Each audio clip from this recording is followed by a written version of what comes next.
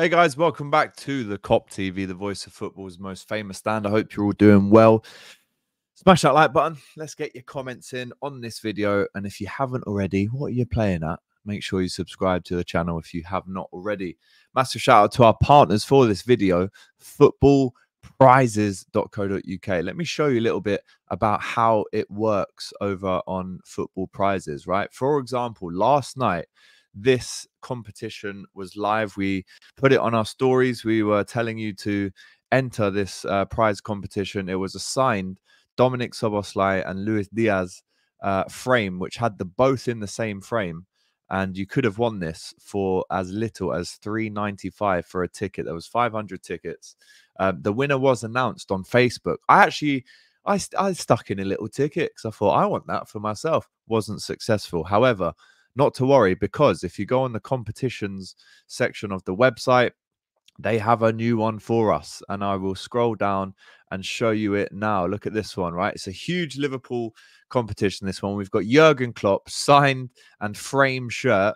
Um, and again, you can win this for as little as £3.95. I've put the link to this competition in the description. A lot of you guys from the Kop TV socials went ahead and and uh, and signed up and bought one, if not more, tickets. This one has still got six days to go. So we're going to be doing a competition once a week for a month. Just on the first one. This second one right here. I mean, listen, I know Arne Slot is our manager. I know we shouldn't keep looking back in the past, but Jurgen Klopp signed shirt and if you zoom in a little bit, it looks absolutely incredible. Klopp number one, and it's signed as well. So, guys, there are 399 tickets, right? Yesterday there was 499, which means you've got a 20% better chance of winning this shirt if you only buy one ticket, right? It's cheaper than a pint, right? If you're under 18, it's cheaper than I don't know a uh, a train ticket to town if you live in Brunswick. All right. Um, there's obviously more examples. This is what tea and coffee cost these days. But guys, six days left, six hours and 31 minutes. I am going to be putting this across the socials as well. So if you miss it on this live on this uh, video, you can see it on our socials. But just to remind you, the ultimate tribute to the most successful Liverpool manager in the Premier League era. Um, and then again, as you know, there is uh, further 17 chances to win a Sadio Mane, Thiago, Diogo Jota, and Andy Robertson signed shirt. But this one, guys, it's it's as good as it sounds, right? 395, enter yourself, and you could be going home with this bad boy shirt signed and framed by Jurgen Klopp. So, guys, as I said, link in the description. If you want to head over to Football Prizes, you can via our link. Get involved, right? You must be in the UK, you must be over 18 to enter. But, guys, £3.95 and you could be walking home with Klopp signed shirt and framed as well. So it really doesn't get much better than that. Again, the link in the description if you'd like to uh, to join in. Um, right, this video is of course on the radar. It's our transfer show. Um, let's give you an update first of all on the goalkeeper coming in um, to Liverpool. It's Georgie. Georgi Mamardashvili, uh, the 23 year old six foot six Georgian from Valencia. He's currently at Valencia. Um, has obviously raised the eyebrows of Liverpool um, scouts. We are very close to signing him. It looks like the goalkeeper will join Liverpool. But just to add on, uh, this is what the Independent have got. The Reds won't see the Georgian until 2025, even if they close the deal this month. It says here that Alisson is set to remain the first choice goalkeeper for this season, but the Georgia international could represent some succession planning as Liverpool look to the future. Um, eight years younger than Alisson, who has been obviously in goal since 2019. Apparently, he made the most saves at Euro 2024. I don't know if that's a, a, good thing or a bad thing, knowing that. I mean, it's good for him, of course, but maybe he needs to have a word with his defenders. Um, he's uh, 29 saves at the Euros, and he helped Georgia. To be fair to them, they reached the last 16, which is fantastic for them. 13 clean sheets in La Liga last season. Um, I actually watched him briefly the other night play against Barcelona. They were 1 0 up against Barca, and uh, unfortunately, they lost 2 1 in the end. Um, but listen, he's he's so mm. big. He commands the space. He commands the goal, and he gets out quickly. You know, he makes himself as big as possible. And on paper, if you just try and remove yourself from knowing that Alisson is our goalkeeper currently, on paper, you know, top goalkeepers these days, they can go for 75 million. They can go for, um, you know, more money than that. We've seen Alisson was obviously one of them, Kepa as well. Um, I mean, listen, on paper, for the money, it's a good signing. This kid's obviously got a lot of potential, and, you know, we should be proud to have him in our goal one day. But the interesting point to to maybe remember about this uh, signing is the fact that Alisson is still only 31, um, and in my opinion has a good five or six years ahead of him in Liverpool's goal. When you look at the likes of Edwin van der Sar, when you look at the likes of David Seaman, when you look at the likes of all the top goalkeepers, the Schmeichels, the um, the David De Gea's, obviously he's still playing now, well in his 30s for Fiorentina. Um, I'd say really to to almost move a goalkeeper on um, because of maybe a lack of form or the age. I don't think you should be doing that until they're at least 35. At least 35. So, as we know, goalkeepers have uh, a longer shelf life than especially defenders and attackers. Midfielders can go on for a lot longer as well. But at 31, still not 32, I believe, and again, let me know in the chat, in the comments down below, what do you think? I believe that Alisson still has a good five years left in in Liverpool's goal. Now, this signing, um, knowing that you know Caoimhín Kelleher could eventually leave Liverpool, it does future-proof Liverpool. Obviously, we're not going to see this guy for another year. There were rumours that Bournemouth maybe wanted him on loan for this Premier League season, but it looks like he's going to stay at Valencia, which is which is fine. He's settled, um, and hopefully he'll just improve and and obviously try and get Valencia into Europe. But the interesting point for me is that unless Alisson has said that he's looking to move on in the next year or two, I don't think Liverpool would have made this signing. Now, again, 31 years old, is the best goalkeeper in the world without question for me personally, especially since he's joined Liverpool in 2019, 2018, I should say. Um, I don't like the fact that Alisson maybe feels it's time to move on in the next year or two, knowing you know, if you look around at all these other goalkeepers I just mentioned, they were playing well into their at least 35, 36, 37, 38, some of them. And if it does play till 38, you wouldn't even need to worry about another goalkeeper for the next seven years. But being more realistic, knowing, you know, contracts, etc.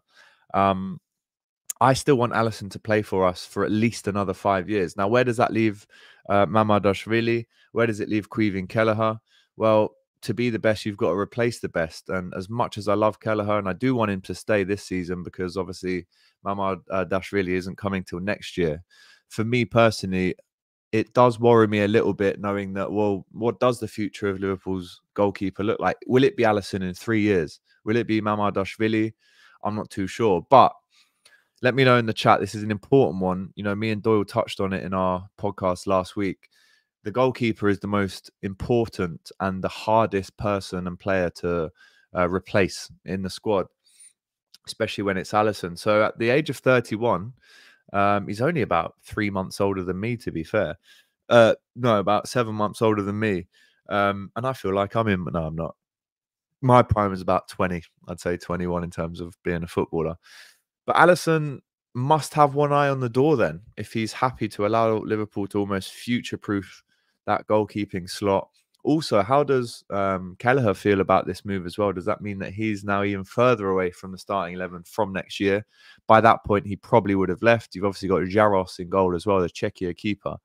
So, talk to me about the future of the Liverpool goalkeeper. Will it be Mamardashvili coming in as number one next season? Will he come in as a number two and almost learn from the best? And then maybe the season after that, he becomes the number one. Do you think Alisson has almost green lit this this transfer? Do you think he said, right, that's the one who I think is going to replace me, get him sorted, put him on loan for a year, and then by the time I'm ready to leave in two years, he can step up to the plate? There's a lot of uh, questions to be asked around this one. So let me know in the chat. Does Alisson stay as number one?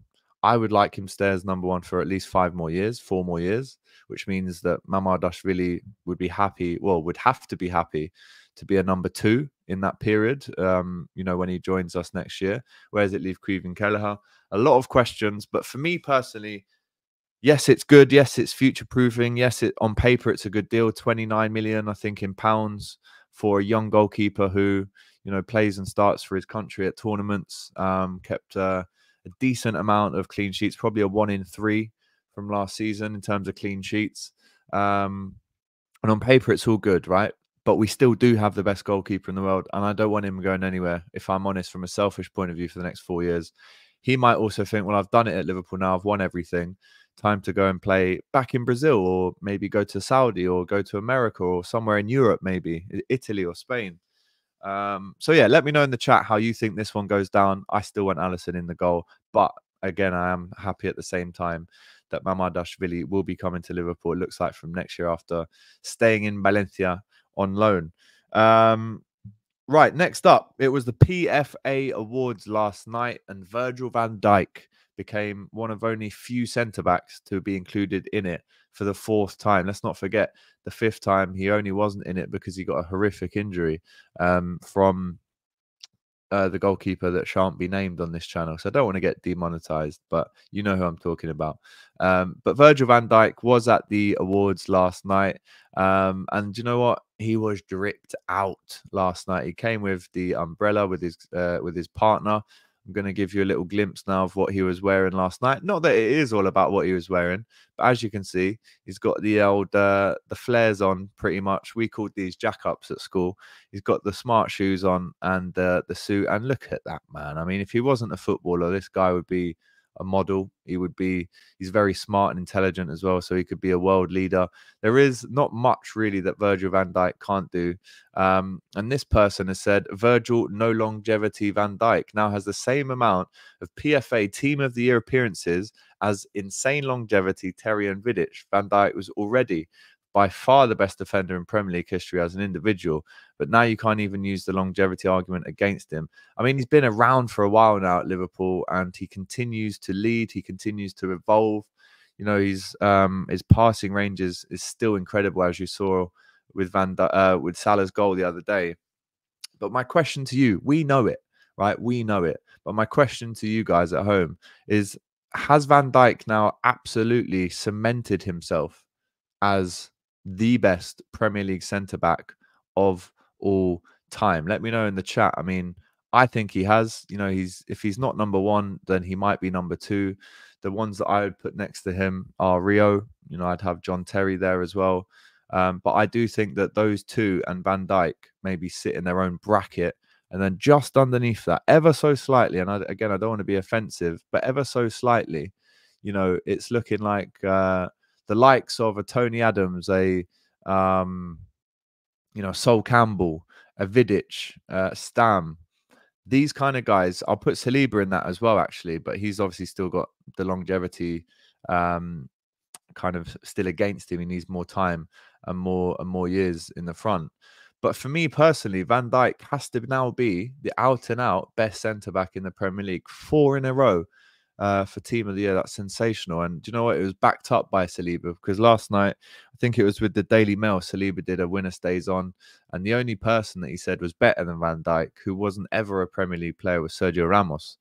Um, so he even said, you know, Van Dijk was better than him. And I think there's that respect. Um, he's obviously a very calm and collected bloke. And if you met him as a fellow professional, he'd be very mm-hmm. respectful and he'd tell you how good you are. So listen, I'm a I'm a massive fan of Van Dijk getting another PFA Team of the Year. And again, no matter what any fan tells you, I've had Arsenal fans saying Saliba's better than Van Dijk.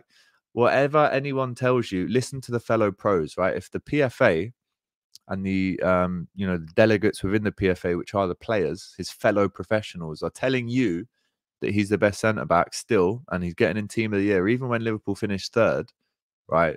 Listen to them because Van Dijk goes without saying, right? He's, in my opinion, the best um, centre back in the Premier League of all time. So if you agree with me, let me know in the chat. And if you don't, also let us know as well.